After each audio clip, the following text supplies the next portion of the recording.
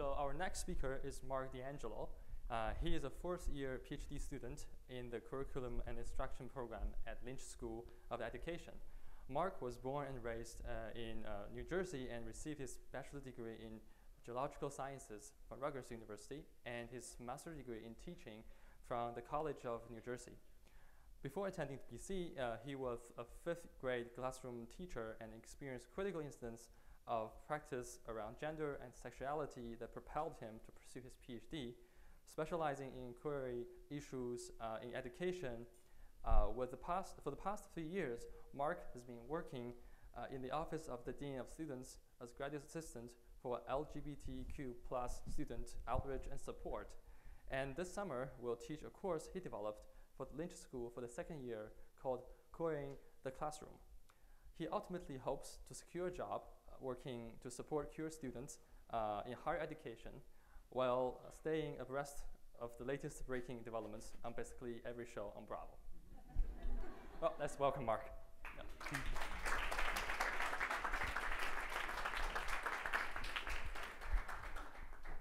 So, what feminine part of yourself did you have to destroy in order to survive in this world? I bet everyone in this room can give me at least one answer to that. I can certainly give you many. When I think back to who I was as a little boy, I was outgoing, expressive, colorful, creative, sensitive, sassy. Look at me gossiping on the phone already.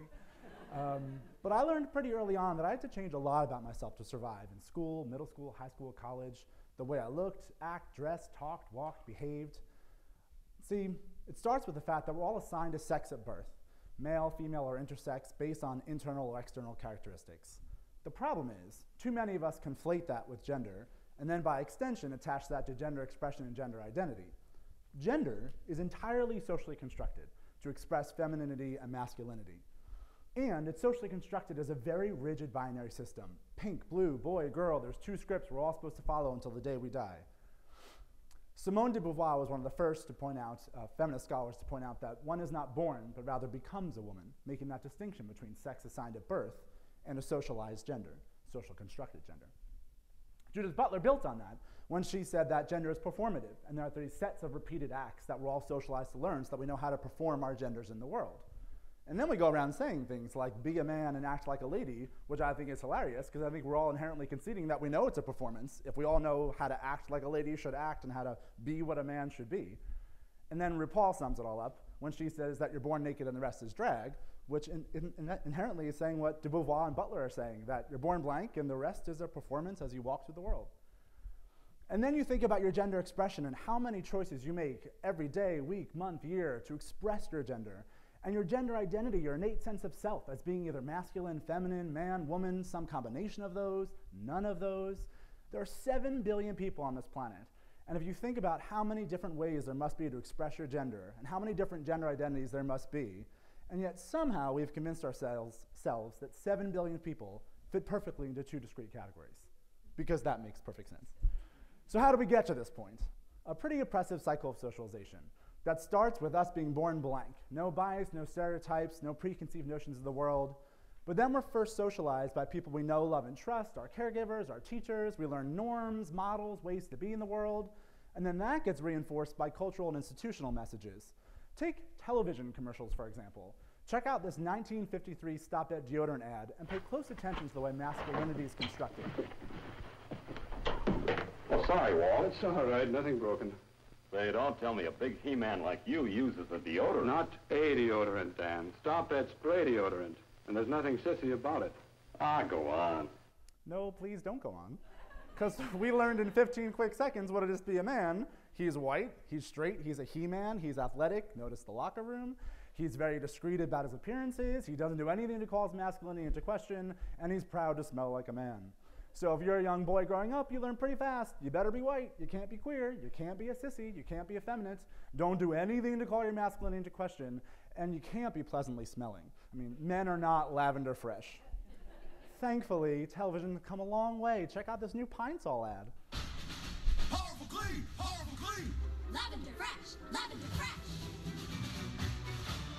Fresh, Powerful clean.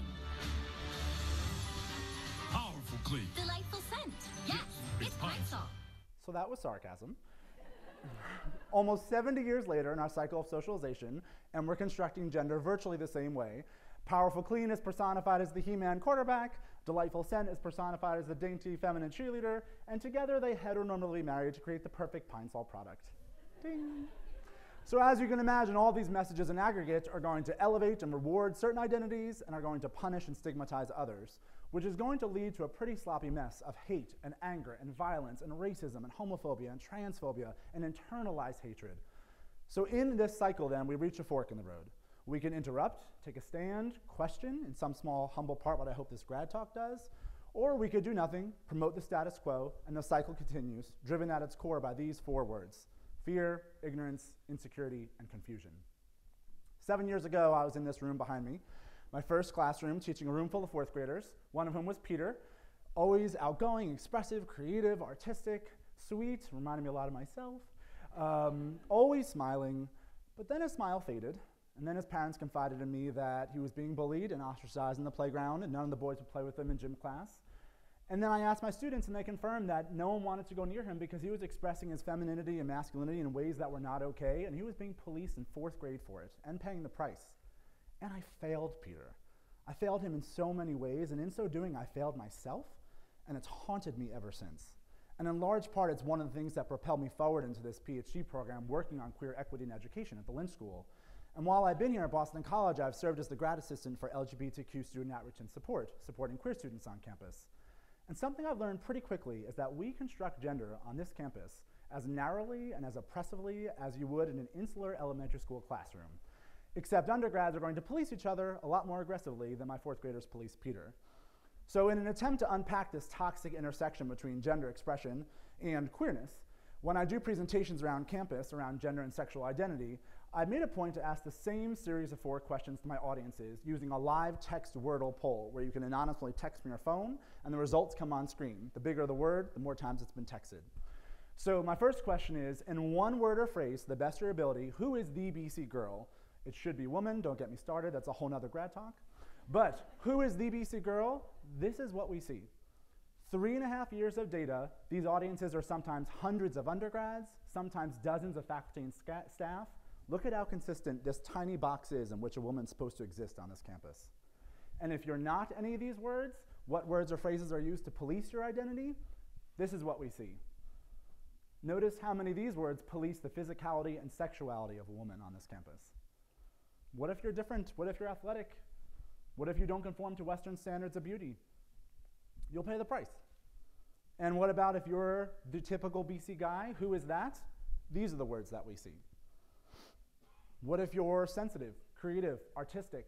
What if you're not an athlete? What if you're Peter? What if Peter were an undergrad at BC right now? You're going to be policed. And what words or phrases are used to police those identities? You can imagine. Notice how many of these words attack the feminine traits of a man. How many of them are rooted in misogyny? Because the worst thing a man could do is voluntarily relinquish his masculinity. So it's not surprising then that we're going to destroy the feminine parts of ourselves in order to survive. Where have I seen these constructions of gender before? Not sure. In the interim, what can we do to queer the way for gender? How do we celebrate and include people like Peter, gender non binary folks, trans people? Also, dismantling an oppressive gender binary liberates all of us. We all have something to gain from it. So, what can we each do in our own capacities? For starters, how about we stop policing everyone's gender performance and gender expression? How about we stop policing our own? How about we stop assuming there are only two ways to be in the world, and how about you just be you? How about we look at social conventions and structures and institutions and systems that perpetuate these oppressive norms and force people into categories and boxes and constrain everyone's ways of being in the world? How about we look at our education system, the biggest engine of cultural reproduction we have, and think about in K 12 and higher ed institutions do we have full time staff members explicitly working on this? Do we have resource centers? Do we have public accommodations? Are our instructional materials and pedagogical practices, our textbooks, our school policies and curricula, are they inclusive of queer identities and different forms of expression, or do they contribute to the erasure of those identities? How about we stop lionizing and privileging and rewarding the most oppressive and harmful and dangerous interpretations and constructions of masculinity and femininity in our society? And instead, how about we celebrate, elevate, legitimize all kinds of masculinities, all kinds of femininities, all kinds of gender expressions and identities. There's this notion in our society that it takes courage to be who you are. How about we ask ourselves why and how we've constructed a society in which courage is necessary to simply exist? How about we take the onus off the individual to find courage, and we all collectively find the courage to refuse to let these four words from forcing our complicity in this oppressive cycle of socialization? Where are we going to be in another 70 years? The world is a classroom, and in it, we are all students. But more importantly, we are all teachers too.